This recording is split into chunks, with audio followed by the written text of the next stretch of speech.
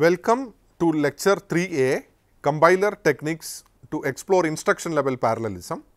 We saw in the last weeks about the basic pipeline and uh, the multi-cycle pipeline and we also saw how hazards are managed. Now the question is, is it really possible to improve instruction level parallelism and to reduce CPI cycles per instruction of a program by effectively handling stalls that are created by hazards. We have seen some conventional ways in which structural hazard, data hazard and control hazards are being handled. Is there anything more to it? Today we are going to learn about some compiler techniques wherein we will see about how compiler will optimize your code such that when this code is going to run on the hardware, the execution is faster. So, straight away we will move into compiler techniques to explore instruction level parallelism. We know that pipelining overlaps execution of instructions and we are basically focusing on how to improve instruction level parallelism. So, when you have multiple instructions that is available, the whole concept of your pipeline is revolving around can you exploit instruction level parallelism. Across multiple instructions if there is parallelism between them that means they can be run parallelly that is what we are looking in pipelining concept. Now, when you deal with the exploration of instruction level parallelism there are basically two approach first is compiler based approach they are known as static level approaches and second one is hardware based dynamic approach. So, the broader difference between these two terms that is compiler based techniques and hardware based technique is in the case of a compiler based technique whatever is the code given by the programmer this programmer's code is being given to the compiler compiler will look into the impact of when these codes when these set of instructions are going to hardware, will there be any stall between them? That is what is being studied and compiler exploits the option of is it possible to rearrange these instructions such that when certain instructions are kept a little apart, then there not be this direct dependency or the stalling that happens.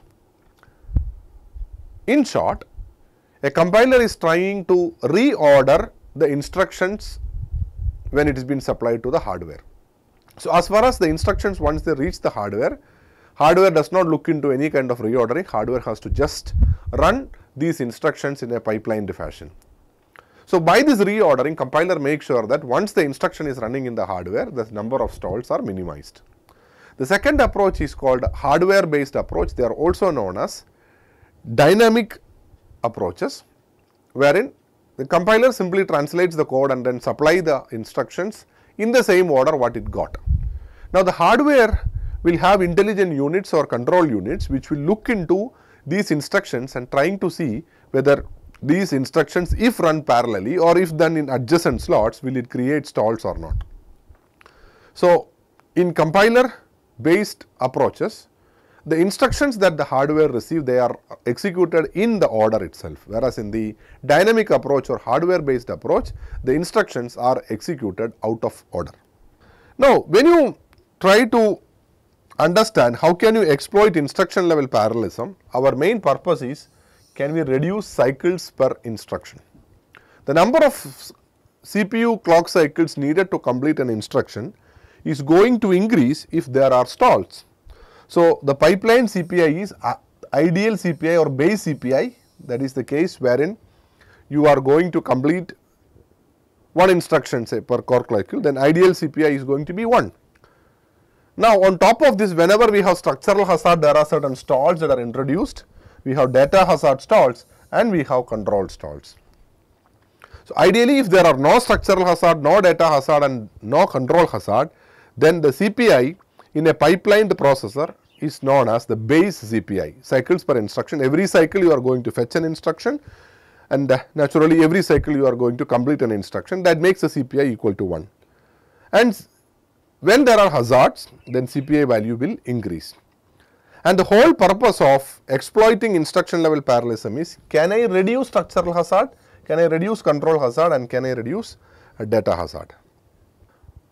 Now, what are the limitations when we try to optimize the code that is coming to hardware for execution. Before that, let us try to understand a term called as basic block. A basic block in a program sequence is a straight line code sequence, set of straight line code without any branches except at the entry point there can be a branch and there won't be any branch at all except at the exit. So, here there are a piece of line that is been given. Let us try to understand this. So, you have a set of lines that is been given and the concept of basic block is within a block there won't be any branches at all. What do you mean by this? When you have sequence of instruction, whenever a branch instruction starts, you are starting a new basic block. And if at all a new branch instruction is somewhere there in between, there a new basic block starts. So, the idea of basic block is control will reach the basic block only at that point and control will leave the basic block only at its exit. If at all there is any other point where there is multi point diversion as far as the control is concerned, a new basic block is starting. So, in this given example you can see that w equal to 0, x is equal to x plus y, y equal to 0 if x greater than z. So, this is the point wherein a branch condition is going to start. And we know that there is an else component that is coming. So, uh, when you consider about the basic block, this is one block, this is another block, this is another block and this is the third block. And the peculiarity of each of the basic block is there are no branches inside the statements in a basic block that is a straight line code sequence. All these blocks that we have identified, we can know that there is only a straight line sequence. There are no branching in between. Now, let us see another example where a equal to 0, b equal to a star b and then you have a line 1. That is a point at which the control will reach. So, there is a go to line 1 here, control can reach line number 3. Control can reach line number 3 from line number 10 or control can reach line number 3 from line number 2 as far as the basic sequence is concerned. Now, in line number 4 there is a jump to L2 and L2 is a label that is given at line number 7. So, if you look at number line number 1 and 2 will form one basic block, 3 and 4 will form another basic block because there is a branch, it is a target of a branch and whenever you get a new branch, the very next line after the branch should be reachable in different ways. So, line number 3, 4 is the second basic block, 5, 6 is the another basic block, 7, 8 and 9 will become another basic block, 10 is a basic block and 11 is a basic block. So, these are the basic blocks that we have identified. So, this means number line number 1 and 2 is one basic block 3, 4, 5, 6, 7, 8, 9, 10 and 11. Now, the very first line of each of the basic block is known as leaders. So, line number 1, line number 3, line number 5, 7, these are all leaders because control can reach at this point only from 1.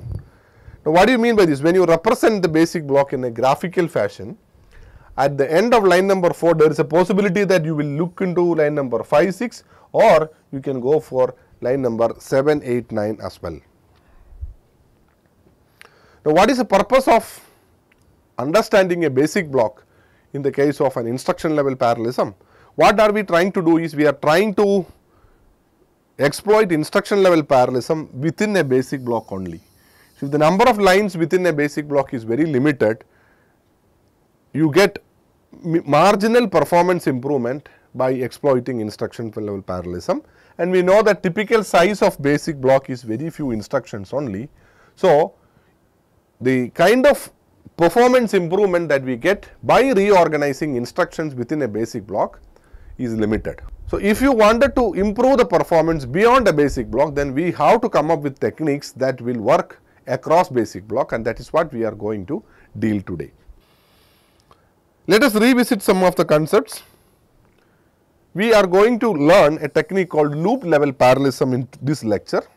What do you mean by that? We are trying to unroll a loop statically or dynamically and when you unroll a loop there can be data dependency across iterations. And whenever there is a data dependency we know that there is a possibility of a hazard. One data value depends on the ne next value And when there are hazards, when you have dependency, dependent instructions cannot be executed parallelly. And pipeline determines if dependence is detected and if it causes a stall or not. So, the idea of pipeline is trying to understand whether there exists a dependence between two instructions. If there is a dependence, then I cannot execute those instructions parallelly. If there is no dependence, then I can execute them parallelly. Data dependence conveys upper bound on exploitable instruction level parallel. So, when there is a data dependency between a pair of instructions, I have to wait for one instruction to produce result such that I can forward it to the next instruction. So, data dependence is very important. The other concept is name dependence and output dependence. We have seen this thing when we discussed about war and WAW hazards. Two instructions use the same name, but there is no flow of information that is known as a name dependence.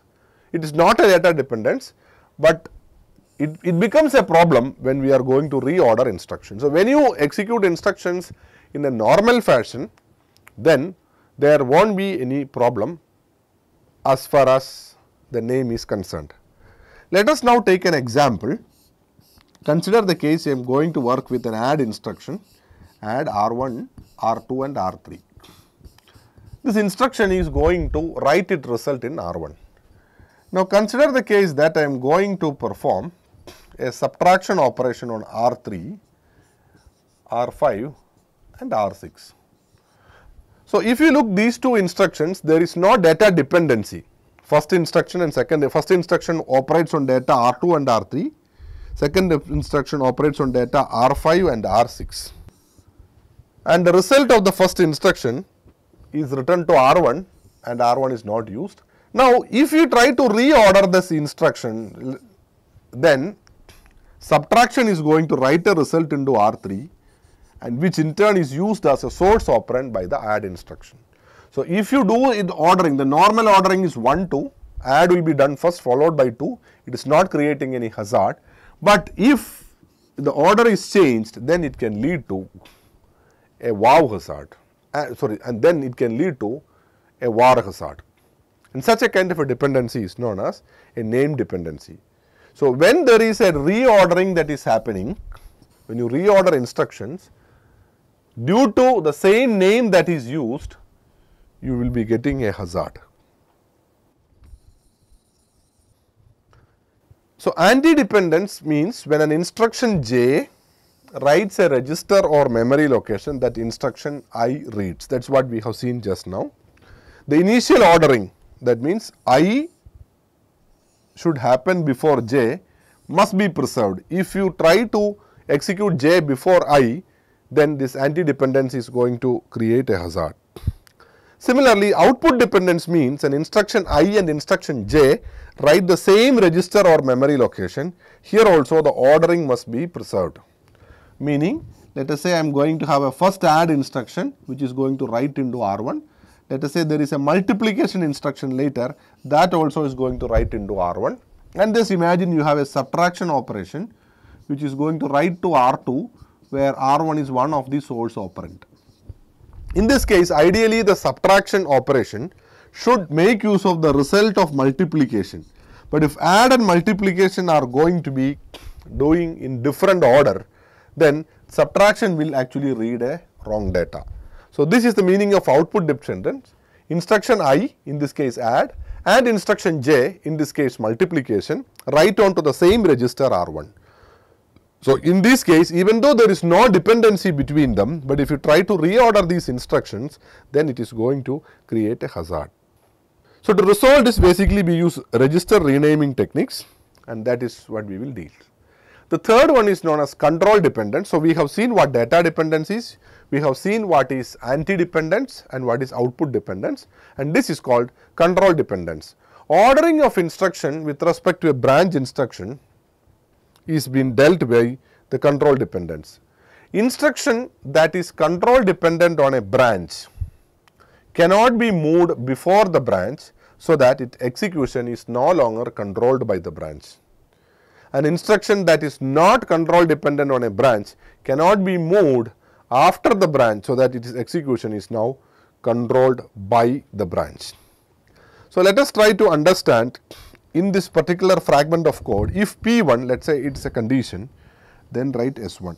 So, S1 is a conditional statement similarly if P2 then write S2. Now, what this tells is an instruction is control dependent on a branch. So, here the statement S1 whether the set of statements X1 is executed or not it depends on what will happen to the condition P1. An instruction that is control dependent on a branch cannot be moved before the branch. So, the S1 I cannot take it out because then the moment S1 is taken out of the condition then S1 is no longer control dependent on P1. Similarly, S2 I cannot take it out of that then once I take it out then S2 is no longer control dependent on this. So, why we try to study about this control dependence? The whole purpose of compiler level assistance to instruction pipeline is can compiler reorder instructions such that you will get better performance. So, if compiler decide let us let me take S1 and put it above or let me take S2 and put it above then S1 and S2 will no longer be dependent on P1 and P2 respectively. Similarly, an instruction that is not control dependent on a branch cannot be moved after the branch so that its execution is no controlled. So, imagine that there are some statements x which is before this if p1 statement, I cannot put x down. The moment I put x inside this if condition, then x is now control dependent on p1. Initially, x was not control dependent, x, was a must execute instruction before the condition check of p1. So, any movement of x inside this p1's body make x control dependent on p1 that is not required. So, control dependency is also there anything that is inside a branch condition we cannot take it out anything that's that is outside a branch cannot be taken in as well. Instructions that is control dependent on a branch cannot be moved before the branch and instruction that is not control dependent on a branch cannot be moved after the branch. Now, consider this example you are going to write the result of R2 and R3 and is putting the result in R1. Then you have a branch statement which will check the value of R2 and then you have a load word. Now, if um, I am going to put a value. So, the value of R1 let some other instruction is going to check the value of R1 at some point later. The value of R1 is actually control dependent on this instruction. The moment this branch if equal to R2 comma L1, if the value of R2 equal to 0, then I am jumping to L1. In that case, the R1 value is determined by this DA add, add D add U, direct add unsigned. So, this DAD instruction will determine the value of R1 if the branch is taken. If the branch is not taken, then load word will determine the value of R1. So, the value of R1 is control dependent on this branch. Similarly, in this case, you have a branch that is going to happen and the operand in the OR, OR operation. R1 is an operand. The value of R1 is dependent either on D sub or on D add. So, they are actually dependent on both of these instruction whichever is going to run. Now, based on whether this branch is taken then R1's value is determined by the D add instruction. If the branch is not taken then it will not go to skip it will run and come and execute the D sub instruction and that will update the value of R1. Let us look into the third example. Here you have a value that is returned to R1 and here we have a value that is returned to R4 and here we have a value that is on R5. We know that once you take the skip then these two instructions will not be executed that means a value of R4 and R5 because this value of R4 is dependent on this. So, only if this instruction is executed then only its value will vary. So, these are all places wherever you see the blue mark these are all places where control dependence is going to impact. Now, what are the compiler techniques? Compiler basically does find an overlap sequence of unrelated instruction. Compiler tries to see whether there are any unrelated instruction or not. If it find out some unrelated instruction, then it try to schedule these instructions, separate the dependent instruction from the source instruction by a pipeline latency of the source instruction. So, if compiler is seeing that uh, certain instructions are dependent on each other, let us say A and B. If B is dependent on A, then B and A has to be sufficiently separated such that by the time B is going to run, all dependency with respect to A is resolved. So, consider an example C code that is given. It is a loop that iterates from 999 all the way up to 0 by decrementing the value of i by 1 in every iteration and it is accessing an array. So, x of i is an array whose index is from 0 to 999. We are going to start from the last element, take an element, add a scalar value, a constant value s to it and store it back in the same location. So, for this piece of line, let us assume that all these values are double. Each value is going to be stored in 8 bytes. Now, this table tells that what is the dependency level. If a floating point ALU operation is going to produce a result and another floating point ALU operation is going to use the result, then between them there is a latency of 3 cycles. This is basically your floating point ALU which takes care of floating point add and subtract. When we discussed the multi-cycle pipeline wherein A1, A2, A3 and A4 which represents a 4 stage floating point add operation, we know that each floating point operation will take 4 cycles in the execution stage. So, if there is a dependency like if I am producing a floating point result which has to be used by another instruction then these two instructions has to be separated by a minimum of 3 cycles. So, the table tells that if a floating point ALU is producing a result and I have to use the result then minimum of 3 cycles. Similarly, floating point ALU is going to produce a result which I have to store it immediately then there should be a delay of 2 cycles between them. This is a standard one if you load a value and if you wanted to use the value in floating point ALU, there is a delay of 1 cycle that is latency.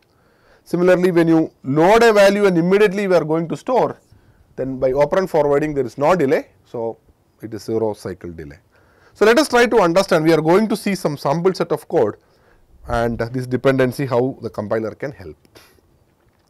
So, this is the instruction that uh, we are going to see a sequence of instruction inside a loop. The loop is going to operate from 999 all the way to 0, take an element, add a constant value to it and then store it back in the same location and this has to be repeated. Let us see how the MIPS RISC code for this one will be. You are going to store the first element. So, 0 of R1 will point to the first element. So, let us say this is your array, the array x. So, R1 plus 0 will actually point to this location. So, from the location copy the contents, these contents you are getting you are going to copy to a register known as F0. Just to make you understand the notations that is being used, if the register is starting with an F, it is a doubled register, it is a floating point register. A register is starting with R, it is an integer register. So, 0 and R1 they are basically used to compute the address and with the address you go to the location, contents are transferred into a register known as F0. So, you are loading a value. Now, the loaded value I have to add a constant s to it. Let us see the value of s is stored in register F2. So, whatever is loaded from memory that is F0, I am going to add F2 to it and store the resultant in F4. So, it is a floating point add operation. We know that whenever we have a load operation which is producing a result in F0 and the result has to be used by another floating point operation, then there is a stall of 1 that is what this stall represents. That means a load and an add instruction which make use of the result of load has to be separated by one instruction or there will be one stall between them. Similarly, we are going to have a ALU operation and the result of the ALU operation I have to store there will be two stalls. So, now you take the value in F0 add with F2 the resultant is stored in F4. Now, I have performed x of i plus s. Now, the result I have to store back in the same location. Storing is done with the help of a store and 0 of R1 will tell the same address and the new value is available in F4. So, store F4 0 of R1. So, essentially what are we trying to do using this load instruction you get the value and then you add and then you store the value. This is what is happening now. So, with this the first number is taken and the updated value is stored back. Now, I have to go to the next location. Since it is a loop that is counting backward, the next instruction is obtained by I am changing the value of R1, R1 equal to R1 minus 8. So, this instruction's meaning is R1 equal to R1 minus 8. Add unsigned immediate value, that is the meaning of it and then I check whether the value of R1 equal to R2. So, R1 equal to R2 means R1 value is decremented every time and then see whether it reached R2 or not. So, if the value of R1 is not equal to R2, I am going to repeat the loop. So, now with the new value of R1, I perform 0 of R1 that will point to the next location, take the value to F0, add F2 to it and produce the result in F4 and then store it back. Again subtract R1. So, if you do the loop then the R1 value is decremented every iteration and with the new value of R1 the effective address of the next element of array is obtained. Now, if you look at this particular loop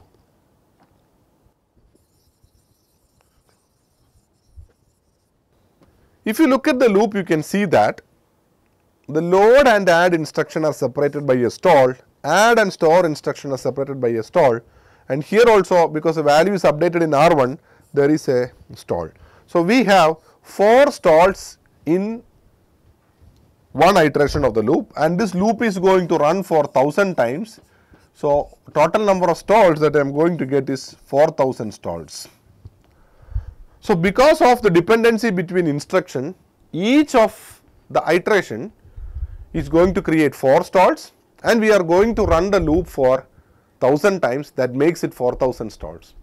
Imagine that this particular set of stalls are inside a nested for loop, then the number of stalls are going to be even high. If it is a triple nested for loop, then because of the stalls, CPU is actually wasting close to minutes. If a program is going to be delayed by few minutes, and if it is a critical program which runs on embedded systems or specific mission specific applications, then that is a big time. Can we get rid of the stalls? If you look at general operand forwarding technique what we have seen, there is a lot of limitation in these set of instructions. Because essentially we have only 4 or 5 instruction and you have to understand that these are part of one basic block up to this. This is part of one basic block. So, you cannot do much between this because the number of instruction is limited. So, this is what we have now. Now, let us see how compiler can help in this. So, compiler sees that this load and add anyway has to be separated by one instruction, there is a stall between them. So, can I find out some other instruction? Compiler identify this as an independent instruction and put it there. So, that is the first step. Now, by the time the add is running, they are sufficiently separated by one clock cycle and rather than wasting that one clock cycle, during that cycle this instruction is fetched and executed. But between add and store, still we have these two stalls. So, you are now scheduling the code, I am trying to find out an instruction or rearrangement of this instruction. Now, we have to understand by this time the value of R1 is now updated. So, when I store the value, I have to compensate it. Previously, both load was using 0 of R1 and store was also using 0 of R1, both are same. But now in this case, since the value of R1 is updated, in order to get the same one, because R1 equal to R1 minus 8, to compensate that, I have to use an 8 as the index. And one more thing is, since these two have to be separated by one instruction, once if this DAD UI is going up, they are already separated. So, from 4 stalls that we had initially, we are moving into 2 stalls. That is the advantage that we get. So, the, since the number of instructions within a block is limited, any kind of rearrangement within a block also will give you minimal rewards. So, this technique of rearranging instruction is known as scheduling. Now, let us see what is loop unrolling. So, this is the scheduled code that we have. Now, in loop unrolling, so what are we essentially trying to do in the next iteration? I go, I recompute the address of the location. So, R1 value is updated and when I visit the load instruction again, it is a new value of R1 and uh, I am going to load and store. Now, look at this pair of instructions. You are going to have a load add and store. So, take the value that has been done in load, add a constant value and then store. So, what I mentioned previously, we have different elements in the array, take an element that is called a load operation and then perform the add operation and then you store it back that is called the store operation. So, basically this load, add and store is the heart of this code. So, load the first value, add and then store. So, you get the resultant in F4 and then you are storing the value in F4 into the same address. Now, let us see previously we had statements like DA add these statements were trying to manipulate the value of R1. This is a manipulation of R1, R1 equal to R1 minus 8. Now, I am using load F6 minus 8 of R1. I am not using this instruction rather than that in the current loop itself, I am finding out what is the next element. So, and then that F6 to F2, you are getting the new result there. So, these load, add and store, what is marked here, they takes care of the next value in the array, which would have normally been fetched only in the next iteration. Similarly,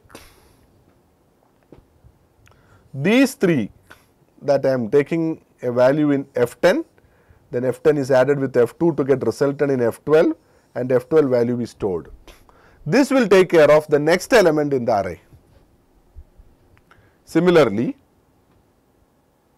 if you look into that, you are going for minus 24, so loading the other value, get the resultant in F16 and store the value that is in 16. So, to summarize what we discussed, we are trying to drop these two instructions which were part of our normal scheduled code. And I perform load, add and store for three set of numbers. Load, add and store, load, add and store, load, add and store for three set for three more iterations and then at the end I perform R1 equal to R1 minus 32 and then I am comparing.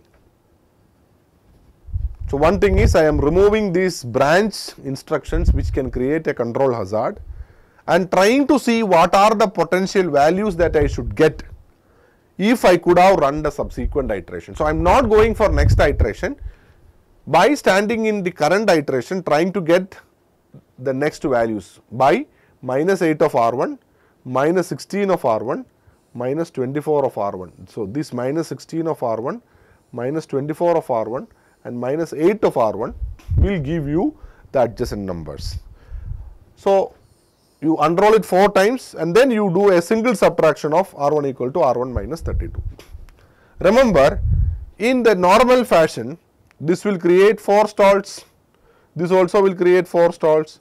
So, now you have essentially this is so, this load and add will be having one stall between them and add and store will have another 2 stalls. So, that make its total of 3 stalls between them, 3 stalls here, 3 stalls here and 3 stalls there and there is going to be one stall between them. So, the number of stalls have significantly come down since we are eliminating this branch and this direct add instruction. Can we do anything better? So, loop unrolling still we have stalls only thing is we have removed the branch instruction which can potentially create a hazard. Now, the next stage is here we are creating lot many registers. Previously our code would have worked with an F0, F4 and F2. Now we are using F6, F8, F10, F12, F16 sort of registers are being used.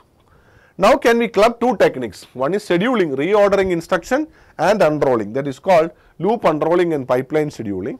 This is what we have seen by unrolling. Now because there is dependency between them and they are going to create hazards, we put up all the loads together. I wanted to separate this load and add which is creating one cycle delay and the add and store which is creating two cycle delay. My load, add and store are now sufficiently separated. So, what you see in this red color these are corresponding loads. See the one that is making use of F0 producing result in F4 and that F4 are used. So, add and store is sufficiently separated. Similarly, if you take up the next set this is a value that is loading to F6 F6 value is now added to get the result in F8 and the F8 value is being now stored. So, the green will show the operations on the second set and this violet will show operations on the third set. So, you load a value into F10 and then you are going to get the resultant in F12 from F10 and you are going to store. But in between you have the subtraction instruction. Why I am taking off subtraction instruction is normally these two will have a one cycle stall between them. So, if I separate this R1 subtraction instruction directly add minus 32 and the jump instruction, now they are sufficiently separated. So, that that stall also we are eliminating. And the last pair of values which has been marked with this yellow color that will take the value in F14 and get the resultant in F16 and you are going to store the 16 value. So, any store that is happening after the updation of R1 equal to R1 minus 32, it is appropriately adjusted so that it will write into the same location as that of load. So, this minus 16 of R1 is same as 16 of R1 here because in between we have an R1 equal to R1 minus 32. So, this is how you are able to, so when you look at here there are no stalls at all. So, when we had 4 stalls and that 4 stall we reduced to 2 stalls by scheduling, now we are reducing to 0 stalls with a combination of loop unrolling and pipeline scheduling. Now, how will you do this? When you, so here you know that the number of time the loop has to run is 1000 times and we divide 1000 into units of 4. So, the loop has now reduced to 250 iteration, but each iteration is taking care of 4 values of the array. What if the number of iterations of the loop is not a multiple of 4 and that is what we do with the help of strip mining. So, we do not know the number of loop iterations. So, what is the goal?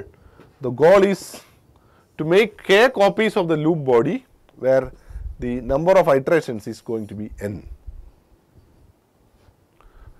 So, we have to generate pair of loop first execute n mod k times, second execute n by k times and this technique is known as strip mining. So, think of a case that you have a loop with 35 numbers. So, and then in each of the loop let us say I am going to process 4 values of the array x. So, the value of k equal to 4. So, what I do is out of this 35 I perform 35 mod 4 that will give you 3 and 35 by 4 that is going to give you 8. So, there is a loop which will take care of only the 3 numbers separately, take a number and perform the operation and remainingly I run the loop only for 8 times where in each time a loop is going to handle 4 numbers. So, first iteration will take care of 4 numbers, second iteration will take care of 4 numbers. Like that I have only 8 iterations rather than 35 iterations. Now, I have a loop which will run 3 times and a loop which will run 8 times. The second loop will take care of 4 numbers. So, the unrolling happens here. This technique is known as strip mining. Let us example what is been given. Loop 1 it execute 3 times, loop 2 it execute 8 times by unrolling 4 copies per iteration. The strip mining is a technique that has been generally used in order for unrolling where the number of iterations of the loop is not clear. So, what are the steps in uh, loop unrolling and scheduling? You have to determine that unrolling the loop would be useful. Identify independency of loop iterations and then use different registers to avoid unnecessary constraints that are put on the same computers. That is what we have seen. When you take the first number, you take the number to F0, next number you are taking into F6 like that. Eliminate extra test and branch instructions wherever possible to adjust the loop termination and iteration code and determine whether the loads and stores from different iterations are independent or not. And if all these conditions hold properly, then schedule the code preserving any dependencies needed to yield the same result as that of the original code. Now, let us see what are the limitations of loop unrolling. So, loop unrolling is a very good technique you unroll. Once you unroll you are getting many instructions and essentially what you do in loop unrolling is your size of the basic block is increased. You have a branch statement only in the beginning and then at the end. All other branch statements are you removing and fusing all the straight line sequence instructions together so that your basic block is big. Once the basic block is big, you have so many instructions, potential instructions are there so that you can perform this reorganization. So, once you rearrange, you can find out some instructions which are dependent between them and try to rearrange, keep them close, keep them far and then try to reduce the stalls. But when you look into the limitations of loop unrolling, there are two limitations. First one, when you have a code, let us say 3 line code inside a loop, let us say 1 or 2 loop statements and this 3 lines, so it is hardly 4 or 5 lines of code. When you unroll the program size increases, even though the time is same, the size of the program increases and once the size of the program increases, it requires more space in the instruction cache and that lead to I cache misses. The second problem with respect to loop unrolling was we are making use of more number of registers. So, previously our example program will work with an F0 where value is loaded, F2 which contains the scalar value and F4 the resultant is stored. So, with 3 registers I could manage. Now, I unroll it 4 times then roughly that many number of registers are there and then that is what is called as register pressure. So, with that we are going to conclude this lecture. Let us try to summarize what we learned in this lecture. We were trying to find out how can you improve instruction level parallelism. Over the first few lectures, we were trying to see about operand forwarding techniques, branch prediction techniques to take care of data hazards, control hazards and all. Now, in today's lecture, we were trying to see how if compiler knows the know-how of the architecture, compiler knows these, these instructions if they come together there should be minimum of this many stalls between them. If you pass on this information to a compiler then compiler can effectively rearrange the instructions if at all it is possible that is called scheduling rearrange the instruction and then pass the modified set of instructions to the hardware. So, that hardware upon running will not see any dependent instructions coming close by. But there are cases wherein the number of instructions that is available inside a basic block is limited. So, we are trying to increase the size of basic block and that is done with the help of loop unrolling. So, unroll the loop, increase the basic block and then rearrange instruction we can reduce the hazards. And strip mining techniques are used whenever we cannot perfectly divide the number of iterations into the number of loop unrolling expansions. So, with that we conclude. Thank you.